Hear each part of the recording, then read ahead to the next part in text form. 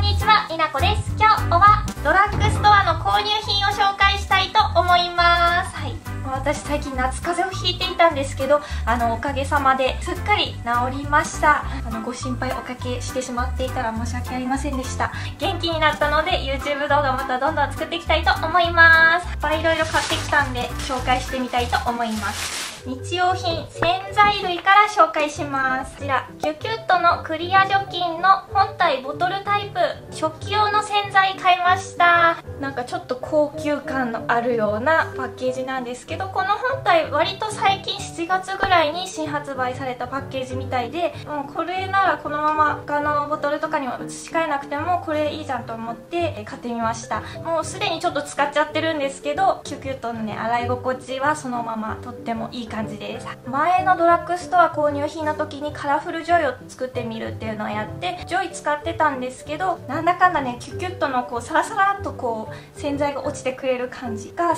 きでキュキュットに戻ってきてしまいました。同じく食器用洗剤のキュキュットなんですがこちら詰め替え用を2種類買ってきました。バーベナシトラスの香りっていうやつとミックスベリーピオニーの香りっていうやつ。この匂いも割と新しめの香りですね。おしゃれな匂いの名前だからおしゃれな匂いがするんじゃないかと思って買ってみたんですけど。あー甘い小さい頃食べたブローのガムみたいな香りと花の香り香りが混ざったみたいな匂いです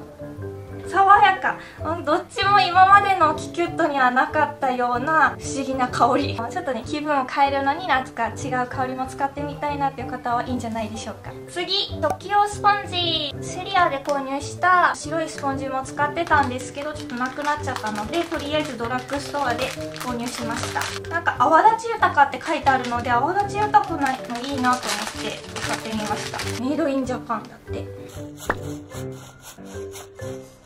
天然ゴム手袋薄手タイプセリアとかキャンドゥで売ってる黒いゴム手袋を結構使ってたんですけど使い方が悪いからだと思うんですけどなんか黒い色素がなんかプラスチックにこう色づいちゃったりとかしてあんまり黒とかじゃなくて色素が薄いゴム手袋を、ま、使っていこうかなと思ってこんな感じの肌色みたいなゴム手袋を買いました。うんうん使いやすい。薄手タイプがやっぱり使いやすいなと思って薄手タイプを使ってます、次。じゃん大好きなラップクレラップもラップはクレラップと決めてます。絡まったりしづらいしこう切り心地もいいしすごい使いやすい。黄色くてもうちょっと長いバージョンも常に家に。ストックしてあります。これはちょっと初めて買ってみたんですが、えー、スタイルメイトミセスロイドの消臭ダニよけバッグシトラスグリーンティーの香りということでクローゼットとかロッカーにこれをかけとくと、えー、消臭にもなるしあのダニも避けてくれるっていうすいいじゃんと思って見つけてちょっと買ってみました。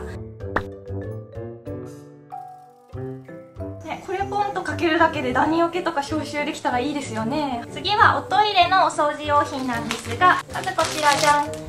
トイレクイックルの匂い予防プラスタイプ。トイレクイックルの普通のバージョンをいつも気に入って使ってるんですけどこの匂い予防プラスっていうのを初めて見つけてあいいじゃんと思ってちょっとこれからこれにしていこうかなと思いつつちょっと初めて買ってみました。じゃんクラビングバブルの流せるトイレブラシと流せるトイレブラシの付け替え用のえー、シトラスの香り。トイレ掃除に使うトイレブラシなんですけど先の部分が1回掃除するごとにもう使い捨てみたいな感じで流せるっていうことですごい衛生的にいいなと思ってちょっと使ってみたいなと思って買ってみました。この本体の方は4つ入っててこっちは12個入りっていうことで毎日掃除するとして半月分ぐらいしかないので結構、うん、お金はかかるかもしれないけどもまあでもこれでこう気持ちいいトイレ掃除生活ができるなら、うん、いいかもしれないですね。これをこう押すとここが開くのでこんな感じでここに挟んで引くとびっちりつくのでこれでザーッと掃除して終わったらここをピョンとピョンとねこれをザーってねもうトイレに流せるっていうやつですね。良さそう。ここにあの洗剤が入ってるのであのトイレ用の洗剤を振りかけなくてもこれあればもう洗剤もついてるスポンジなのでいいっていうことで、まあ、トイレの洗剤シュシュシュってかける手間もいらないしそれを買う手間もいらないって考えたらこれもなかなかいいんじゃないかなと思うんですけど。立てかける用の部品も一緒についてます。それが、えー、トイイレで流せるタイプのお尻拭き。娘が結構トイレでできるようになってきてトイレットペーパーじゃなくてお尻拭きで拭いてほしいみたいなんですよね。トイレに流せるタイプのお尻拭きがあるっていうのを知って買ってみました。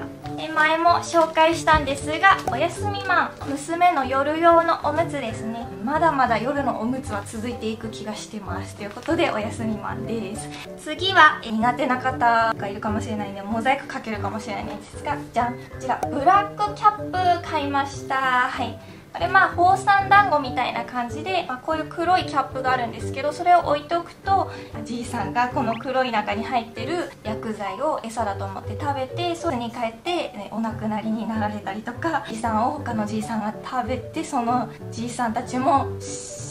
あのお亡くなりになるっていう、まあ、宝山団子的なやつですね。我が家はまだじいさん出たことないんですけどいつ出るか分かんないってちょっとねドキドキしてるんで もうなるべく出くわしたくないなと思って年に1回置いてます、はい。えー、あとはレブーズゼロのシャンプーとトリートメントの詰め替え買いました。前回のドラッグストア購入品の時にの本体買ったんですが、まあ、使ってみた感じは、ね、悪くないなと思ってまあ、主人もいいねって言ってたんでまあこれからどんどんこれを使っていこうかなと思ってますということで詰め替えです、まあ、頭皮に優しいだけあって洗浄力はあんまり、うん、高くはないかなと思ってます。たまに私なんか頭皮のかゆみが気になることがあってでその時用にこちらコラージュフルフルネクストシャンプー買いました。4年前ぐらいに発見して頭皮のかゆみが気になる時にこのシャンプーを使うと割と結構そのかゆみが解消されるっていう感じでちょっと高めのシャンプーなんですけど頭皮がなんかかゆいなとかなんか頭皮が荒れてる気がするみたいな時にこれこのシャンプーおすすめです。次、えー、ボディウォッシュ、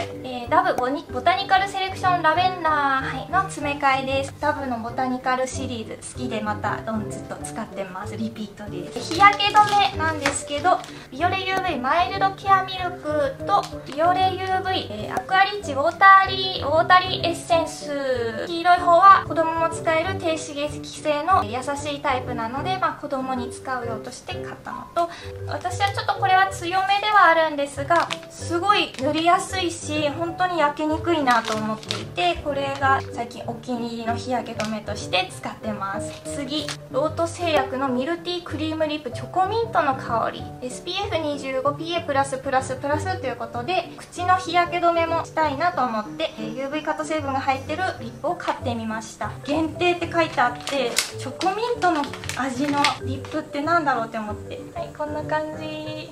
はあチョコミントの香り。いってみよう。味はちょっと全味は分かんないですけど匂いがチョコミントの香りです。いやこれは 塗ってて楽しい感じですね。